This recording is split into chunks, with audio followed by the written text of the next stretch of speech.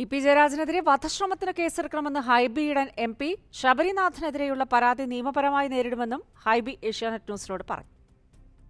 IndiGo വിമാന കമ്പനിയുടെ disciplinary action flying ban ഒരു ഏവിയേഷൻ റൂൾസ് പ്രകാരമുള്ള ഒരു നടപടി വന്നപ്പോൾ അതിൽ യൂത്ത് കോൺഗ്രസ്സുകാരെക്കാൾ കൂടുതൽ വലിയ ശിക്ഷയ്ക്ക് വിധേയമായിട്ടുള്ളത് നടപടിയെടുക്കാൻ സ്വീകരിച്ചിട്ടുള്ളത് ഇ പി ജയരാജനെതിരെയാണ്.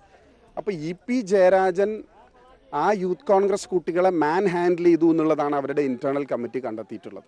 അതുകൊണ്ട് അദ്ദേഹത്തിനെതിരെ വധശ്രമത്തിന് കേസെടുക്കണം എന്നാണ് ഞങ്ങളുടെ ആവശ്യം.